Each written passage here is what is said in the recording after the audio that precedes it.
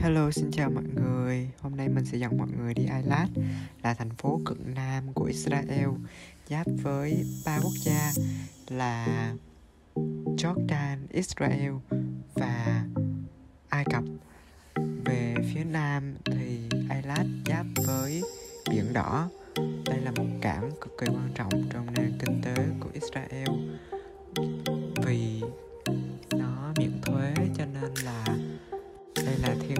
đường sắm cho những bạn muốn mua các sản phẩm với mức giá hợp lý thành phố này cũng kết nghĩa với rất là nhiều thành phố khác trên thế giới và đa số là kết nghĩa với những thành phố biển.